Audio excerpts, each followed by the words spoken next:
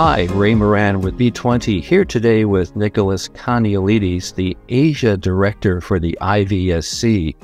And Nicholas, hi, welcome. We're honored to have you with us today. And just, you know, as a thought, yeah, I've always believed that the Asia Pacific region has both the highest potential and is the fastest growing part of the world for the valuation profession. And you're right in the middle of it in Singapore. So I'm curious for your thoughts on the region. Well, Ray, thank you for having me. Uh, and you're absolutely correct. In fact, the IVSC has its roots in Asia uh, since the organization was uh, was created um, in the early 80s in uh, in Melbourne, Australia. And of course, um, now we have a we have an office in Singapore, very much in the in the thick of things um, when it comes to Asia.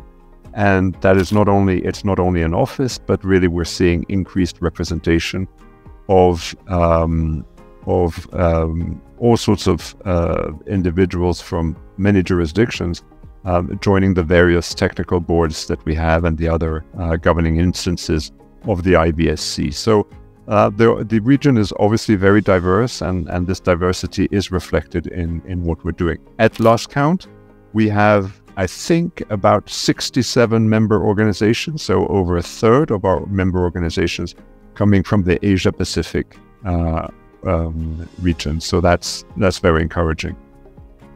Uh, that's very impressive. And in fact, I, I, know there are several IVSC committee members within the Asia Pacific region. So I, I think the region is very well represented in real property, plant machinery, and business valuation.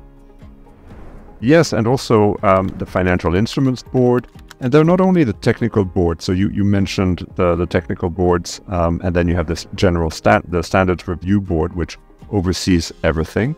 Um, and, and then you also obviously have the Board of Trustees, um, where you have um, uh, eminences such as uh, Lim Hwee Hua, who used to be a minister here in, in Singapore. Um, and then you have, we have created very recently an Asia committee, which is headed um, by, um, by um, Gita Wirjawan, who used to be the trade minister in Indonesia. And that really federates um, um, about uh, 10 people from all all walks of uh, of life when it comes to to Asia. So it's uh, so really we have both uh, an Asian presence within our instances, and we have specific uh, we have a specific um, committee to really spearhead the um, uh, the growth of the IVSC across the region. I wasn't aware of the Asian committee. That, that's really impressive, and congratulations. Yep. You know, switching over to the V20, Nicholas, uh, I know you've been an early supporter of the V20, and we thank you for that. But I'm curious when you first met Saurabh Gupta and he pitched the idea of the V20 to you, what was your first reaction? Well, first of all, when I when I started at the at the IVSC, when when we opened the office uh, in in Singapore, one of my first trips uh, was uh, to India and really, it was uh, it was breathtaking. The the I mean, I mean, I'd been to Asia, sorry, to India earlier, um, so I was familiar with India in a personal capacity. But it was breathtaking to see um, how vibrant the whole valuation community uh, is, uh, and and therefore, and and Saurabh and his team were really instrumental in introducing me to a number of stakeholders over there. Um, this is, of course, a long, uh, a long running effort. I mean, this is India is going to be uh, the object of constant efforts for us to grow and expand uh, and promote the IVS and the IVSC um, in that in that um, great uh, country. Um, and so when when I heard about the V20, I was uh, very impressed by the sheer ambition of the project. Um, uh, and in fact, uh, it's been, uh, am I, I'm, I'm just um, very impressed by what they've been able to achieve in such a short time. Uh, from what was a what was seemed like a crazy idea of of doing a, a V20 uh, in a very very short uh, time span. But from what I understand, and obviously we're speaking before the uh, just a couple of weeks before the actual event, um, I, I, can see the, the signups. I can see that it's going to be a great success. So um, that's uh, that's of course very encouraging. But it is part of a broader, longer term, uh, slower burn effort towards uh, the Indian um, the Indian community. Yeah, I definitely agree. It's an effort that's very well worth uh, undertaking.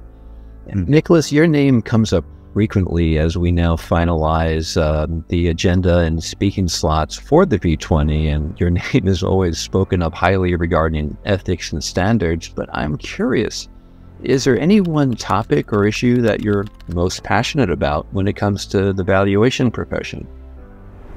Well, that's very kind of you to say. Um, um, I would, I mean, obviously, my background is very much um, business valuation more than anything else, and um, the advances that have that have that we have seen in the valuation techniques uh, in the past few years when it comes to business valuations, and that's not to say that there haven't been any advances in, in other domains, um, are just breathtaking, and it's a very very exciting time.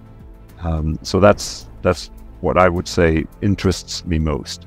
Um, when it comes to ethics, it's very clear that you know as the IVSC um, promotes professionalism, professionalism doesn't exist without without um, the foundation of ethics.